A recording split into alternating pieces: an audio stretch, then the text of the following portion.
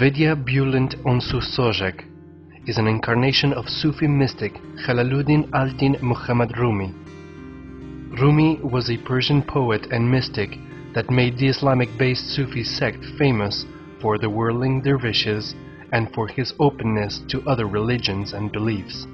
Her birth occurred at the same time Kemal Ataturk established Turkey as a republic in the modern world, a fact of great importance to her and her vision of the role Turkey is to play in the new age of universal unification.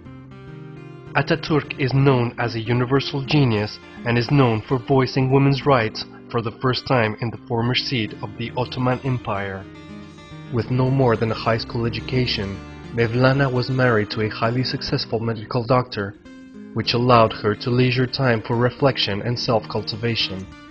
After some years of inner preparations, she began to receive messages on 1-11-1981 from the celestial authorities, and over a 12-year cycle transcribed what she heard into what is now known as the Knowledge Book, or the Golden Book of the Golden Age.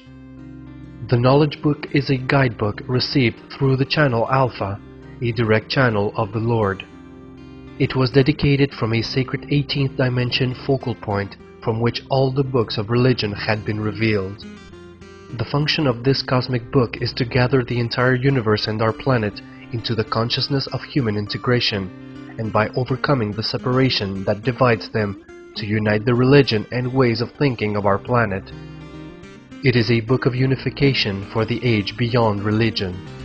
In the Knowledge Book it states, The natural characteristic of your planet is its acceptance of the latest given information as if it were the final information. At the moment, in this total with the world appearance on which you live, there are friends who possess very advanced consciousnesses who had transcended this awareness and who had come from dimensions your planet does not know yet, and whose doors are open to all information.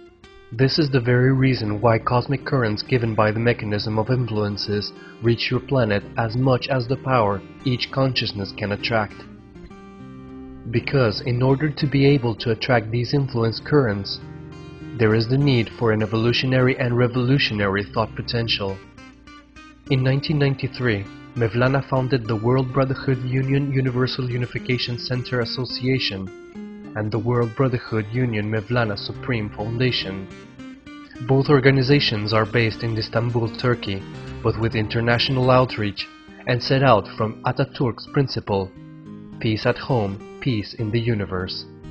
The aim of these organizations is to prepare human beings for the reality of unified humanity, to provide the evolution of humanity towards a universal consciousness, to study celestial information by supporting scientific work and to cooperate with other establishments serving on the universal path.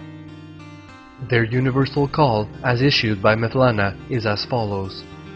Our world, which is at the verge of a great change, is henceforth changing its crust. The days we will be living in the future will be very different from today. The mass pains felt with these fast changes are investments made into the golden age of the morrows.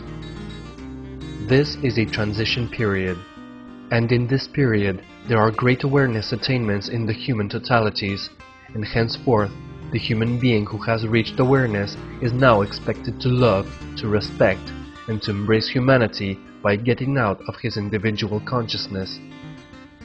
This is an awareness of unity. Because the supreme consciousnesses who can transcend their individual consciousness, who can share their love, who can even embrace their enemy, will find the happy world of the morrows. And the morrows will bring unexpected beauties to our planet.